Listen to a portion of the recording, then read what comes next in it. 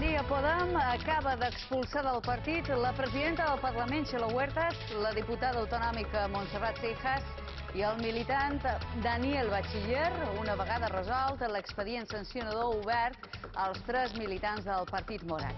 La Comissió de Garanties Democràtiques de Balears ha fet arribar aquest dilluns al Consell de Coordinació del partit a nivell estatal la resolució de l'expedient.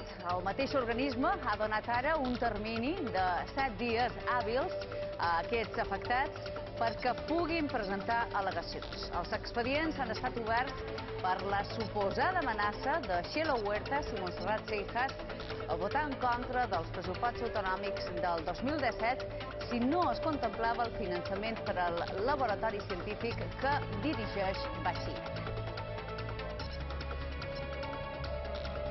I després que els Mossos d'Esquadra obrissin una investigació contra el pare de Nadia Nerea per un presumpte frau, un jutjat de Lleida ha ordenat avui l'embargament dels comptes bancaris de la família.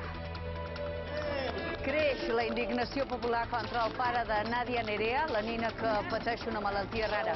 Després d'estar acusat d'estafa la recaptació de fons per curar la seva filla i que diferents col·lectius que organitzaren actes per recollir doblers ja n'hagin reclamat la devolució, Fernando Blanco ha demanat disculpes i assegura que dimecres que ve donarà tot tipus d'explicacions.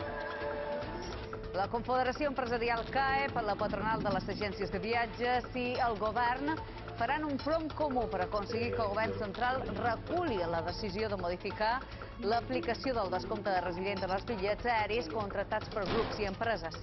La delegada del govern central assegura que des del Ministeri només es pretenen evitar els fraus.